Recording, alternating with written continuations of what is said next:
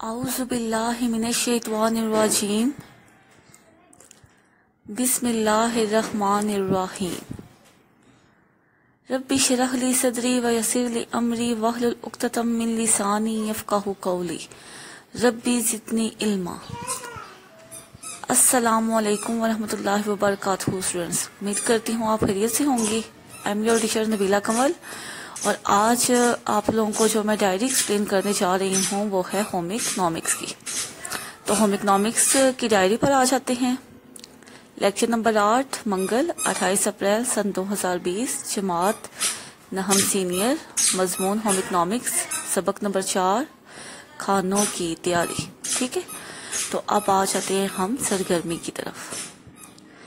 सरगर्मी है आपकी खाना पकाने के मुख्तफ तरीके और इनकी तस्वीर आप लोगों ने कॉपी पर लिखानी है। तस्वीर आप खुद भी बना सकती हैं। अब सबक पे आ जाते हैं। सबक नंबर चार, खानों की तैयारी कि खाना कैसे बनाते हैं, खाना पकाने के कौन से तरीके हैं, खाना पेश कैसे किया जा सकता है खुराक जो सी है वो हम स्टोर कैसे कर सकते हैं बवर्जी खाने में हम क्या हिफाजी इकदाम जो से हैं वो कर सकते हैं। तो सबसे पहले हम आ जाते हैं तदरीसी मकासद पे, गजाए स्टोर करने के मुख्तफ तरीके और रेफ्रिजरेटर यानी कि फ्रिज की सफ़ाई के बारे में जानना बावर्ची खाने में पेश आने वाले हादसा से हम कैसे बच सकते हैं? बावर्ची खाने में हादसा से बचाव की हिफाजती तदाबीर बावर्ची खाने में खानों की तैयारी के दौरान हिफाजती इकदाम की निशानदेही बावर्ची खाने में मामूली हादसा की रोकथाम कैसे कर सके? ठीक है तो आज जो आप लोगों को मैं शॉर्ट क्वेश्चन करवाऊँगी, उसमें आप लोगों ने यही सारा जो है वो इन्हीं चीज़ों के बारे में आप जानेंगे। ठीक है? तो अब सबसे पहले हम आ जाते हैं। One two five short questions मैंने आप लोगों को करवा दिए थे। अच्छा जी, आज अब आ जाते हैं शॉर्ट क्वेश्चंस पर। शॉर्ट क्वेश्चंस आपको एक था पाँच पहले करवा दिए गए थे और आज हम छः था दस करेंगे। ठीक है? सबक नंबर चार के छः था दस हम शॉर्ट क्वेश्चंस की आंसर मैं आपको लगवाऊँगी। तो सबसे पहला जो क्वेश्चन है छः एक से जायद अफराद के लिए ट्रे लगाने का तरीका। तो इसका आंसर पेज नंबर 97 पे नाइन्टी सेवन पे है। पेज नंबर 97 पे जाते हैं। पेज 97 पर हम आ गए हैं। इसकी पेज 97 पे ये सेकंड नंबर वाली हेडिंग है। एक से जायद अफराद के लिए ट्रे लगाना। एक से जायद अफराद के लिए प्लेटें और प्यालियाँ वगैरह ऊपर तले रखी जाती हैं और नेपकन भी बाएँ जानी इकट्ठे ही रखे जा सकते हैं।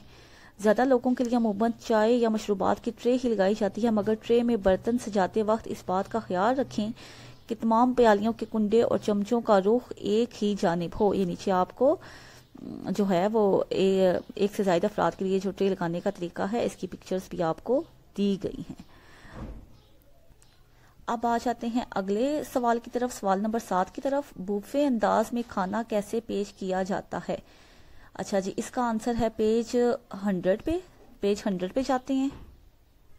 पेज हंड्रेड पे जो आपकी हेडिंग है हेडिंग नंबर पाँच बुफे अंदाज में खाना पेश करना।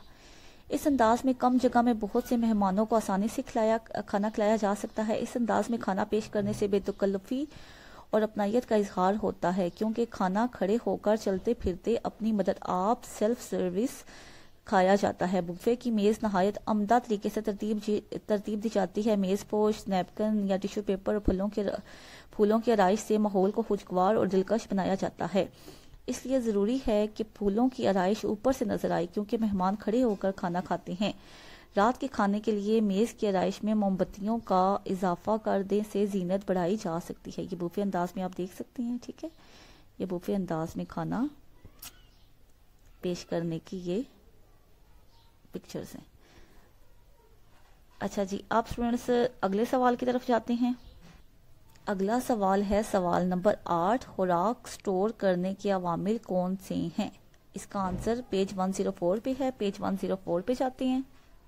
जी तो हम पेज 104 पे आ गए हैं। इसका आंसर 4.3 हेडिंग की लास्ट लाइन है, खुराक को स्टोर करने के तीन बुनियादी अवामिल हैं।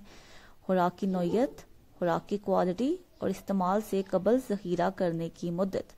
यह आपके एट शॉर्ट क्वेश्चन का आंसर है। आप नेक्स्ट सवाल की तरफ़ जाते हैं। सवाल नंबर नौ पे आ जाते हैं। रेफ्रिजरेटर की सफ़ाई का तरीका बयान करें। रेफ्रिजरेटर यानी कि फ्रिज इसके आंसर के लिए हमें जाना पड़ेगा पेज 110 पे। तो पेज 110 पे जाते हैं। अच्छा जी तो पेज 110 पे हम आ गए हैं। पेज 110 पे हेडिंग है आपकी रेफ्रिजरेटर की सफ़ाई और अमूमी देखभाल। तो इसके पॉइंट्स बताते हैं रेफ्रिजरेटर को रोज़ाना साफ़ करें और हफ़्ते में एक मरतबा तमाम अशिया निकाल कर अच्छी तरह अस्फंज से साफ़ करें और किसी कपड़े या तौलिए से अच्छी तरह खुश करने के बाद कुछ देर तक खाली चलने दें। जब इसका दर्जा हरारत टू डिग्री सेंटीग्रेड तक पहुँच जाए तो फिर तमाम चीज़ें इसमें रख दें। रेफ्रिजरेटर के हैंडल दरवाज़ा और बलाई हिस्से को भी साफ़ रखें। अच्छा जी। रेफ्रिजरेटर के अंदर अक्सर नमी के बायस फफूंदी लग जाती है तो इसको थोड़ा सा सफ़ेद सिरका और मीठा सोडा मिलाकर साफ़ करें। अगर रेफ्रिजरेटर को तवील अरसा के लिए बंद करना मतलूब होगा, हो तो मेन प्लग निकाल कर दरवाज़ा खुला छोड़ दें। रेफ्रिजरेटर को डी फ्रॉस्ट कर लें और साफ़ करने के बाद अच्छी तरह खुश कर लें। यह आपका नाइन शॉर्ट क्वेश्चन का आंसर था। अब आ जाते हैं सवाल नंबर दस पे। बावर्ची खाने में मामूली हादसा की रोकथाम क्यों कर की जा सकती है? यानी कि कैसे की जा सकती है मामूली हादसा की रोकथाम? पेज 115 पे जाते हैं इसके आंसर के लिए। अच्छा जी, पेज 115 पे हम आ गए हैं। सबसे पहले फ़र्स्ट पॉइंट है बावर्ची खाने और अहल खाना की सेहत का आपस में गहरा ताल्लुक है। बावर्ची खाने में गजा की तैयारी के दौरान मदरसा जैल हिफाजती इकदाम इख्तियार करने ज़रूरी हैं। सबसे पहला, खाना पकाते वक्त ढीले डाले और लटकते हुए कपड़े पहनने से गुरेज करें एप्रन इस्तेमाल करें और दुपट्टे के दोनों सिरे और लंबे बाल बांधकर एप्रन के अंदर कर लें।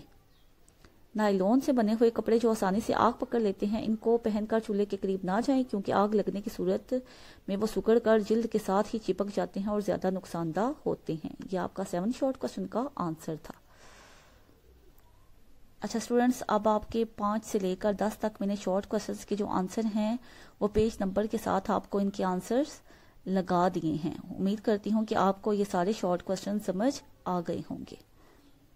अब स्टूडेंट्स आ जाते हैं डायरी पर। जो डायरी है आपकी, वो है सबक नंबर चार, जो अभी मैंने आपको पढ़ाया। उसके मुख्तसर सवाल छः या दस, इनके आंसर भी मैंने आपको बता दिए, पेज नंबर के साथ मैंने आंसर आपको एक्सप्लेन कर दिए, निशान भी लिखवा दिए।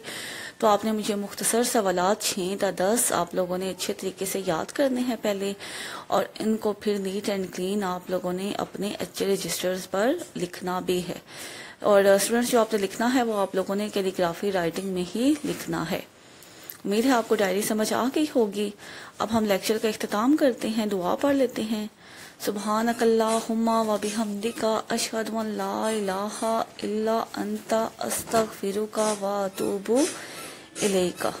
अल्लाह हाफिज़।